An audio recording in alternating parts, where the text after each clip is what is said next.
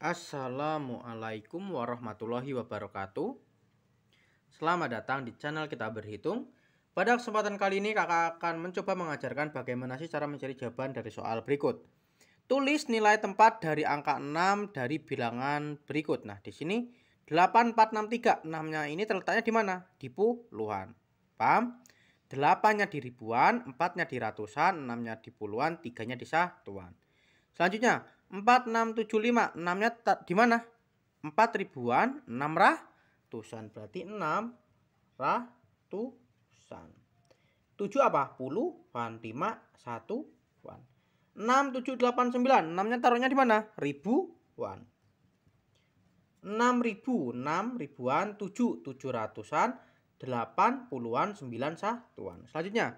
1 2 3 6 6 nya di mana? 6 nya satuan Satunya sebagai ribuan, dua sebagai ratusan, tiga sebagai puluhan, enam sebagai satuan. Mudah pun adik-adik? Apabila kalian sudah paham, kalian luar biasa. Apabila belum paham, silahkan ulangi lagi videonya. Apabila ada yang ingin ditanyakan, silahkan tulis di kolom komentar. Sampai jumpa di video berikutnya. Wassalamualaikum warahmatullahi wabarakatuh.